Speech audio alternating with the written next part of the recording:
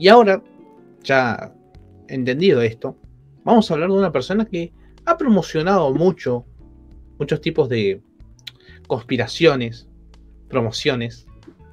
Y vamos a hablar ahora en serio sobre Rafael Díaz. Néstor, ¿te acordás que yo hace un, hace un año casi, ya no me acuerdo, hablé de que yo había hecho una investigación sobre Rafael Díaz, sobre las cosas que había dicho en, varios de sus videos. Y acá la vuelvo a presentar eh, para... Esto por las dudas, aunque no lo crean, esto fue hecho porque me contactó una, una diócesis en Knoxville. Eh, Dios, eh, era no, una diócesis, no. Me contactó la Basílica de San Pedro y Pablo para que haga una investigación sobre Rafael Díaz. Y encontré la versión en español que tenía guardada. Y hago todo un análisis sobre lo que hace Rafael Díaz, eh, datos generales, polémicas eh, y cambios de logo. Que, aunque no lo crean, el cambio de logo dice muchísimo sobre él. Podemos ver cómo antes eh, se ponía como predicador católico. Hoy en día ya no es predicador católico, no puede asociarse, su nombre no puede asociarse a la Iglesia Católica, curiosamente. Y tengo toda una lista sobre las afirmaciones escandalosas de Rafael Díaz contra la Iglesia Católica.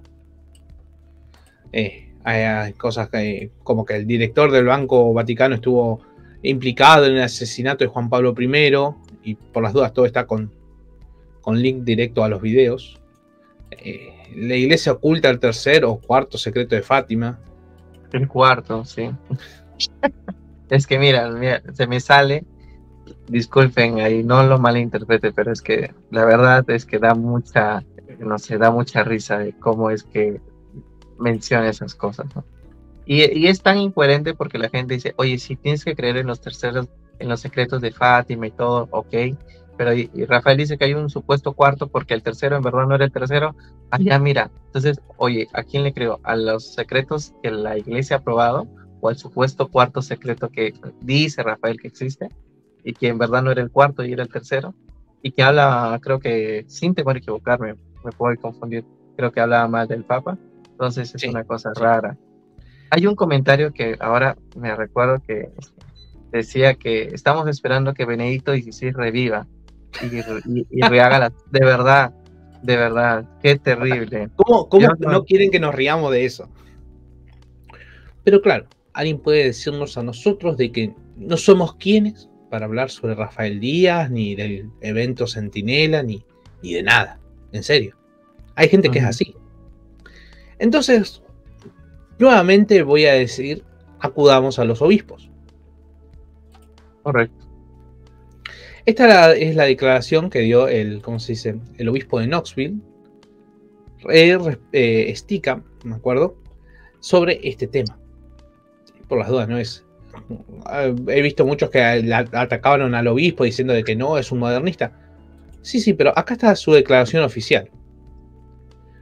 Y dentro de la declaración oficial, los tres últimos párrafos son hermosos.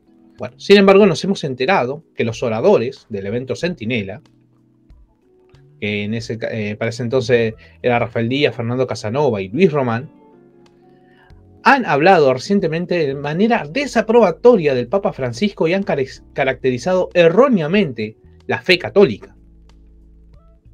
Y bueno, y a partir de ahí eh, la diócesis retiró su apoyo. Y, e incluso eh, les quitó, el, eh, utilizando el canon 1722, les prohibió hablar, predicar, enseñar o representar la fe católica en la diócesis de Knoxville o sus parroquias hasta que presenten una, un juramento de fidelidad en presencia del obispo. Vos imaginate, Néstor. Ahí está. Vos imaginate, Néstor. Personas que han sido caracterizadas, eh, que, se les ha prohibido hablar, y hablar predicar, enseñar o eh, representar la fe católica. Hay que embarrarla mucho realmente, hay que hacer algo muy grave para que, alguien, para que alguien aplique ese, ¿cómo se dice? ese castigo a un laico.